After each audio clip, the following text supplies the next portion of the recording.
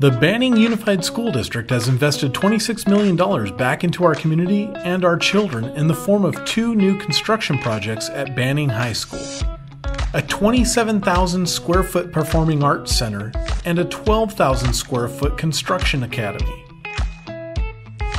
The Construction Academy will be a facility where students can learn skilled trades with all of the latest equipment. Plus, there will be more classrooms, work areas, and an auto workshop. Meanwhile, the Performing Arts Center will include a theater that'll seat 670 people. Not only will it have a professional stage, orchestra pit, and dressing rooms, but also the space will include media and TV production facilities as well.